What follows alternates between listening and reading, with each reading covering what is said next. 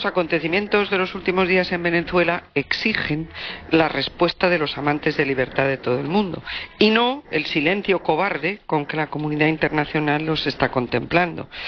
Porque yo creo que no es tolerable la violencia con que el régimen está reprimiendo las protestas de los estudiantes y de los ciudadanos en general, que ya han causado como mínimo tres muertos porque el afán de los chavistas por hacer de Venezuela una dictadura totalitaria similar a la Cuba castrista marcha unido a una gestión desastrosa de la economía y a su incapacidad para mantener el orden y garantizar la vida de los ciudadanos. Están pasando los venezolanos momentos de desabastecimiento y en 2013 se produjeron cerca de 25.000 homicidios. Los ataques a la libertad de expresión son constantes, le niegan el papel a los periódicos que no son de estricta obediencia del régimen, amenazan a periodistas nacionales y a corresponsales extranjeros o cierran las televisiones críticas.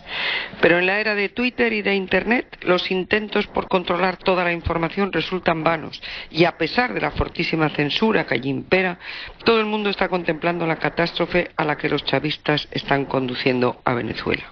Una catástrofe en la que la violencia, como ocurre en toda dictadura, está teniendo un papel muy señalado. Pues desde España tenemos que enviar todo nuestro apoyo a los venezolanos que luchan contra ese régimen totalitario y reafirmarnos en nuestro compromiso de defensa de la libertad allá donde sea atacada, como está ocurriendo en la Venezuela de Maduro.